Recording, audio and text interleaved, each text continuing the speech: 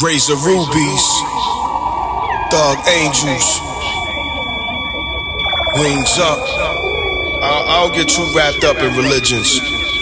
History though, I fuck with some history. I do my research on that. And um, you know, as far as religions, man, I deal more with the spirit, the breath. Take a walk with me, man. We was made in the God's image, Abraham's lineage. After the flood finished, that's when Adam ended.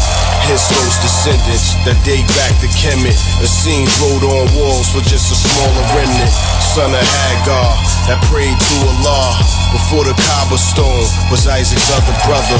See, we all related, just had different mothers. Ishmael established Mecca, Isaac met Rebecca. The birth of Jacob and Esau will soon correct us. We was nomadic slaves of the Egyptian era. After Moses came and put it back together. Monotheism, thought spoke by Akhenaten. Forgotten Israelites, captured for picking cotton.